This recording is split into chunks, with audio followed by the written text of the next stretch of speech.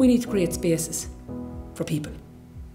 Buildings can be built anywhere. This is about creating a space that people will want to come to, that they'll want to work in, that they'll want to live in.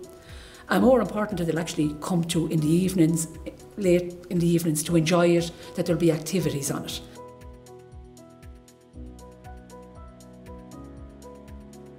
Kilkenny City has a rich medieval heritage. Um, we have landmarks such as Kilkenny Castle and St Canice's Cathedral. The Abbey itself, the Abbey Quarter, is famous for St Francis Abbey, which is visually the most dominant historic building within the quarter. It was founded by the Marshal family, who um, lived in Kilkenny Castle and were lords of Leinster. It was founded in 1230 to 34 and is, I suppose, famous for its association with many distinguished people who were buried there throughout its time. The building itself, St Francis Abbey, is a very elegant building and shows very much the, I suppose, the engineering ingenuity that was there at the time and also the great crafts that were there for the stonemasons and craftsmen that worked on the building during the medieval period.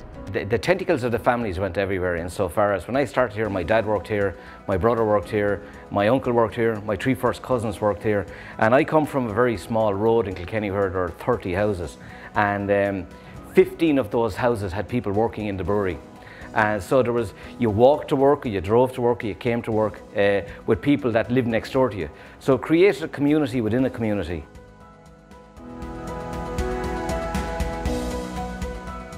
This pro project has originated by the, the decision of Diageo in the first instance in 2012 to close the Smithwick's brewery site. Uh, there was a brewery here from 1710, for, so for over 300 years there was a brewery here.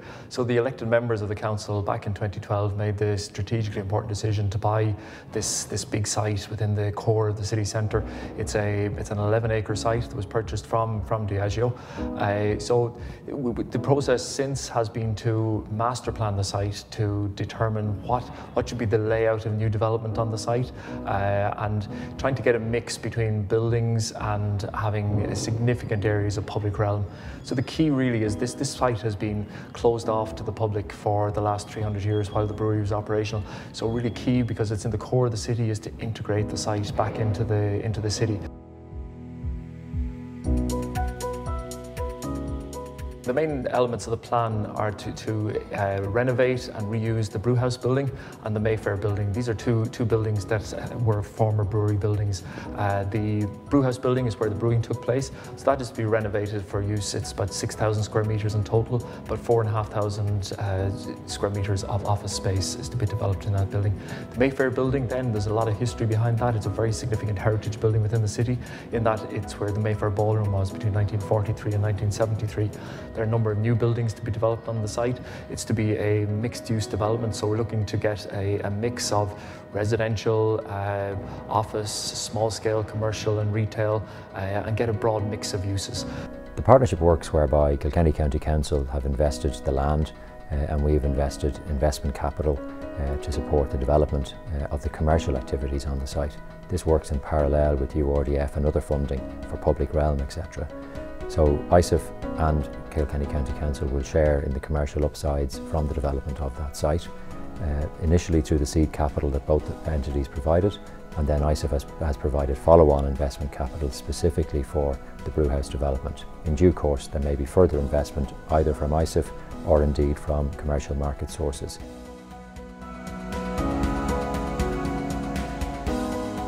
Public ground spaces are in actual fact the lifeblood of a city. When we're designing uh, new city spaces, we tend to think of, people tend to think of public space as negative spaces left behind after the building, but in actual fact, they're the most important spaces that you look to create when you're forming a new urban quarter. The core purpose of the URDF is to promote more compact and sustainable development in our cities and large towns. This is done by a combination of regeneration and renewal projects that promote vibrancy and activity in our urban areas and make places that are more attractive to live, work and invest in. Critically, the URDF is a mixed catalyst fund involving various stranded projects in, to enable brownfield urban areas. Uh, in 2018, following the first round, the fund supported 87 projects involving urban regeneration, public realm reuse, Uh, brownfield enablement and community and cultural use. We've received very significant funding from the Urban Regeneration Development Fund. That allows us, as I've said, to, to, integrate the site back into the city. So to start with, we will be developing the area of Horsebarrack Lane. We'll be taking down the boundary wall that stood along the, the boundary with the brewery and allowing the, the, the, city to spill into the, into the site. It's also going to allow us to develop the Riverside Park project uh, in, the first, in the first phase of works. So we've recently made the decision to uh, develop the new Kilkenny City Library within the Mayfair building. So it gets one of the first uses on the, on the site will be a public building, uh, a really key important uh, entrance into the site. One, one, of the key features on the site here is St. Francis Abbey itself. It's a 12th century uh, abbey uh, and it's, it's been closed off to public access up, up, until now. So the proposal is for us to develop a two and a half acre uh, park around the Abbey, so allow, facilitating public access and really allowing us to uh, incorporate the events and many festivals in the city that they can take place within a new civic space within the, within the city. So uh, when it comes to the council on us, uh, we have been looking for a skate park for over 20 years in, in this city and finally the council has answered back and they proposed a site for us up here uh, beside the bridge. What has happened is we had a consultation with a Spanish architect, I'd say June of 2018 and we drew up a rough layout of the space here and the architect listened to us and kind of put all the obstacles and ramps that we would like in it. And there had been another consultation to kind of streamline the park. And we're still kind of in the process of the final design, but it's it's on the it's on the final stretch for now.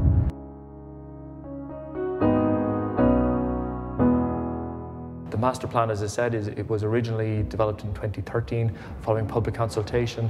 We realised that, look, that the, the, master plan wasn't right and we undertook a process of revisioning that, that master plan. So trying to get the master plan right and, and get, allowing the people of Kilkenny to have a real input into the plans for the site, I think was a, a significant challenge uh, to, to, to, start with.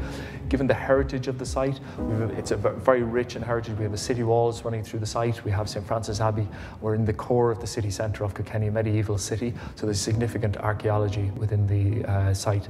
So we've undertaken a, uh, a, very extensive test excavation program in the in the last two years, where we've opened up uh, targeted test excavation trenches to see is the what what's below the ground doesn't match what we know from the cartographic and historical records of the of the site. So it's giving us giving us a, a very clear picture of what's below the ground and how that how that can impact on the on the development. I suppose if there was a word of learning for anyone in this, it would be these don't happen lightly. If you want to do something quick, go out and get a greenfield site on the ring road in Kilkenny and work away and you will deliver offices very quickly. This wasn't about that. This is about an urban brownfield site steeped in history is the only way I could put it.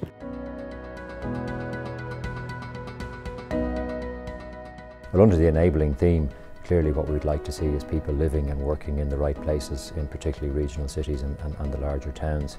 Clearly from, from a working point of view, we would see the Abbey Quarter and the Brewhouse building and other developments such as that as being key enablers that will attract potentially foreign direct investment entities into the area and support Indigenous companies who want to grow and operate within the regions. So currently the Abbey, St Francis Abbey, is very inaccessible to the public and it has been nestled away within the brewery site.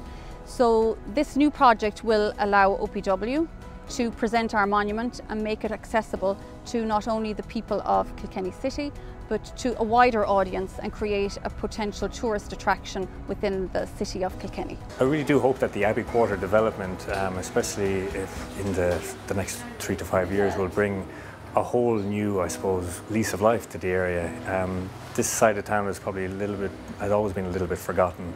Um, when we started out here particularly, there was lots of empty buildings and, and even the locals would, would often say they'd rarely walk this far down. So the Abbey Quarter is an opportunity for, for Kilkenny to, to, I suppose, spread beyond the, the very city centre and draw people down from the castle all the way down the medieval mile right up to Canice Cathedral. Well, when the skate park is finally finished, uh, I, I think it will, uh, it will act as a hub, you know, as a, as a community hub definitely for the youth because it's it's not you don't have to you don't have to skate. You can you can go on rollerblades. You can go on your BMX, and you know even if you're if you're not into action sports, it's a place you can meet your friends and just hang out. And I believe that it will bring more attention to the sport uh, within Kilkenny and, and I think it will put it in a more positive light. So this city needs this regeneration and it's fantastic that Guinness when decided to sell Salted to the local council and it'll be great to see uh, this side of the city regenerated at the end of Medieval Mile.